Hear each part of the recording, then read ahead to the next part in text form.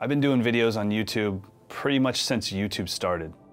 In that time, I've been called every horrible name in the book. I've been made fun of every way you could possibly imagine. And honestly, I don't mind. I, have got a thick skin, I'm pretty used to it. What I do mind is when an eight-year-old student of mine puts up a video on YouTube of them doing their very best, trying to just show me that they've practiced, and they get made fun of.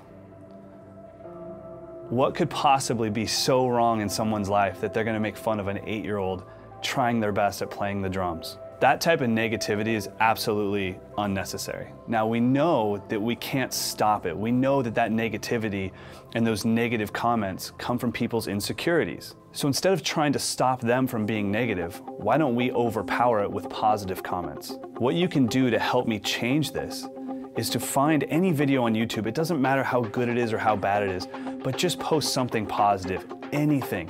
Because if you think somebody quote unquote sucks at the drums, you're wrong.